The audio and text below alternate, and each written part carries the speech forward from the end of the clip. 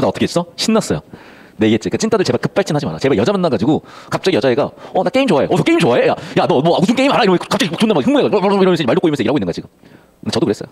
하지 말라고 제발 그래. 친 김에 그만 얘기해. 미군 8군단이 철의삼각지 전투에서 중공군 대부대를 괴멸한 얘기를 왜 하냐고 도대체. 또 괴멸이 무슨 뜻인지 알아? 이런 설명을 해. 과자 먹니? 과자 먹으라고. 봐, 봐, 봐. 과자 먹어. 닥치고. 알겠니 얘들아? 그냥 말하지 마세요. 그냥 이렇게 생각하면 돼. 니네가 하고 싶은 얘기를 그냥 안 하고 그냥 여자애한테 말을 시켜. 잘 들어, 찐따들아. 자, 자, 어, 어, 어린 시절 찐따 베이노 같이 들으시면 돼요. 찐따들은 잘 들어야 돼. 너희가 무슨 말을 하려고 하지 마. 찐따들은. 그냥 여자애가 얘기를 하게 만들어. 잘 들어. 내가 필살기 알려줄게요. 너희가 여자애들하고 얘기를 하다 보면 무슨 대화를 할지 모르겠잖아.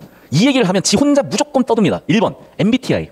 나 MBTI 뭔지도 잘 몰라. 내 MBTI밖에 몰라. 그런데 일단 MBTI 얘기하는 순간 여자애들 신나서 떠들어. 두 번째 맛집. 뭐가 맛있니? 메모해라 얘들아.